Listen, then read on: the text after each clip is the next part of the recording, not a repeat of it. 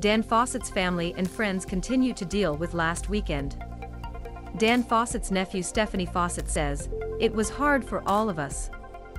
The London Police Service discovered Fawcett at Gibbons Park early on Sunday morning. On Monday, the police saw the incident as A and started their investigation. So far, no cause of has emerged and no suspect has been arrested.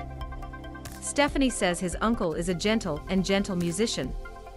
Stephanie remembers, he was a funny uncle, he'd always wander around and try to make us laugh. Fawcett's young girl Layla was established by friends to collect money by friends.